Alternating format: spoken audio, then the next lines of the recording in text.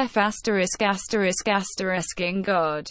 Musk after Cybertruck's armored windows shatter during the launch of Tesla's electric pickup truck. Cybertruck. CEO Elon Musk invited chief designer Franz von Holzhausen to throw a metal ball at its armored window to test the strength. When the window broke, Musk said, Oh my F asterisk asterisk asterisking God, a second test smashed the rear window. After which Musk added, it didn't go through. That's the plus side.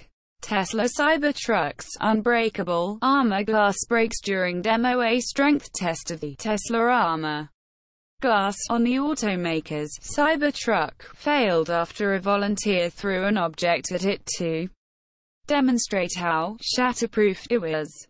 Two of the all-electric truck's windows cracked following the demonstration.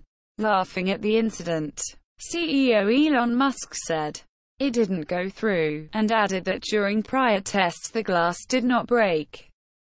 Dubai police to add Tesla Cybertruck to its fleet in 2020. Shares picture Tesla's recently launched electric pickup truck Cybertruck will be joining the official fleet of the Dubai police in 2020. Announcing the news, Dubai Police's Twitter handle posted an image of the truck inscribed with its logo. The Dubai Police's fleet currently includes Bugatti Veyron, Aston Martin 177, BMW i8, Ferrari LaFerrari, Lamborghini Aventador and Lykan Hypersport among others.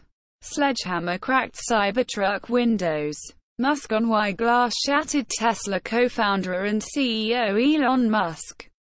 Responding to a Twitter user, said that the reason the recently launched Cybertruck's armored windows failed a live shatter test is because of the sledgehammer test, sledgehammer impact on door cracked base of glass, Musk said. A Tesla executive had thrown a steel ball twice at Cybertruck windows, which shattered the windows both times.